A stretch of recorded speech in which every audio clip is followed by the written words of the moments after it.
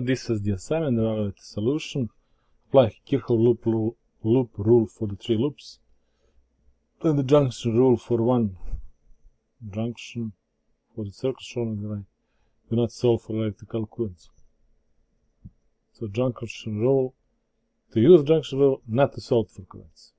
You have very interesting teachers. Uh, this is proposed solution. What is the problem? I didn't do that.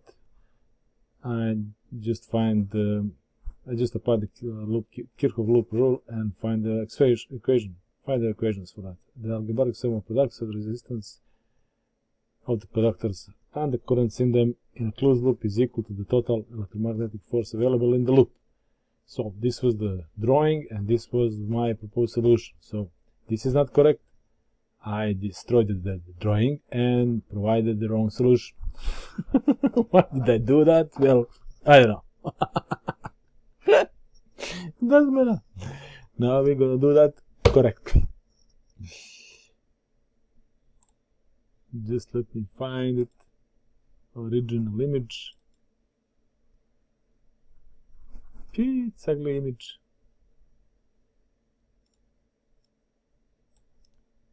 Copy, can I just place it here?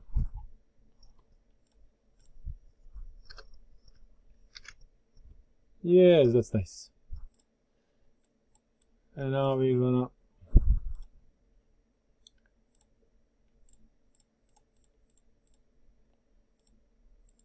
doesn't matter. Around.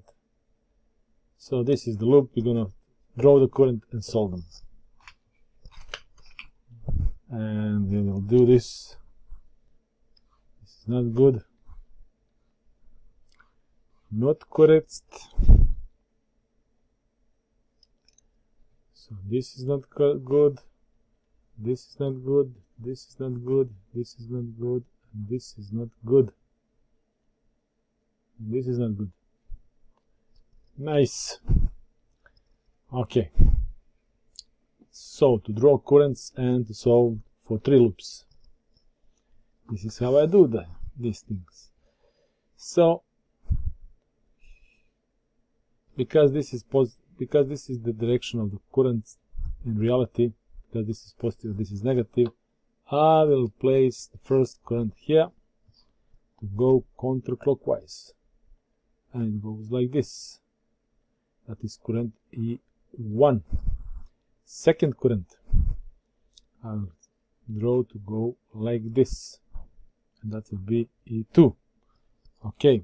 And now what is the loop Kirchhoff rule blah blah blah you could read it here essentially what is the meaning of this first of all you write this uh, first of all you remember that what V is equal R times I just to have in back of your mind. So this is the voltage, this is the resistance, this is the current. And what is happening here in this specific situation?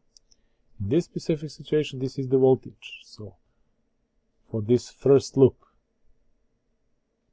for the first loop, 9 volts is equal what?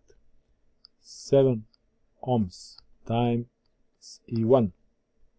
This current times this resistance. Then plus that is algebraic sum this current times this resistance 6 ohms times E1 also and what more minus this is E1 minus 6 ohms times E2 now why is this minus when you look from above from this point you see this current go to the right and if you look from this point from this, through these resistors, this current go in opposite direction. That's why minus. So 9 volts is equal 7 ohm times E1 plus 6 ohm times E1 minus E2 minus 6 ohm times E2. So this is the voltage, this is the resistance current, resistance current, resistance current. Okay, now for the second loop, for the second loop, first you write 0 why 0? Because there is no source in this part of the loop. 0 is equal what? Okay, let us see what's happening here. Uh, okay, let us. Okay.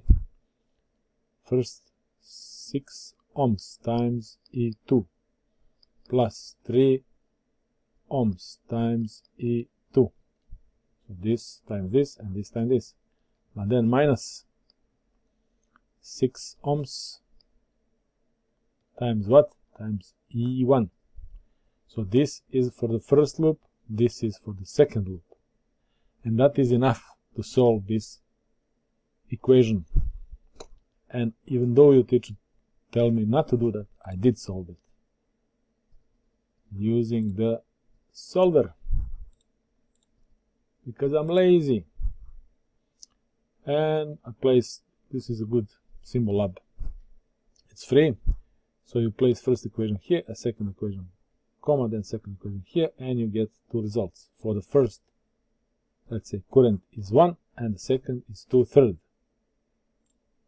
okay so using these two equations we did calculate that T1 is equal 1 ampere and E2 is equal to 3 of amperes okay teacher did tell us not to do this but we are defined and let us now see for the third loop, because we need to do that. We don't need, but there is in the assignment that we should do that. Okay, what is the third loop? Third loop is everything is this. And for the third loop, what it is? First you write 9 volts, then is equal what? 7 ohms times E1. 7 ohms times E1. Then what? Throughout this, that is correct that is now plus plus 3 ohms times E2. You need to practice a little bit to get to hang of it. So let us test this. Is this correct? See, 1 ampere times 7 ohms. That is 7 volts. So 7 volts and this times this is 2 volts. So 7 and 2 will get 9 volts. And this is correct. There's nothing more needed here. Now, if you want to find what kind of current goes through these resistors, it goes 1 ampere. And through this resistor, it goes 2 thirds of the ampere. And through this resistor, this minus this, because they are going like this. And actually, you have current of 1 ampere through here, currents of third, 1 current of third, of 2 thirds of the ampere through here, and one third of ampere through here. So in reality, you have a current that goes here, and that is this minus this, and that is 0.3 amperes. Now you have this current that goes into this 1 ampere, that is reality of the situation, and you have current that goes downwards 2 thirds of an ampere. Now that is uh, for this one uh, that is junction rule and that is one junction here how to do that without solving the currents? Who knows? Doesn't matter. We solve the currents using two, two equations but and we write down the third equation but we do not do not need a third equation in order to solve for the currents. And I think I explained that how you should do these things. Practice. Remember this and then rewrite this. And practice. Okay. That's all there is to it. If you want to download this you can do that but there is nothing more in the pdf file except this. And if you want to download to donate you could do that. For complete return answer please follow the link in the description. If you want more of this please subscribe and tell your friends. Thank you. Bye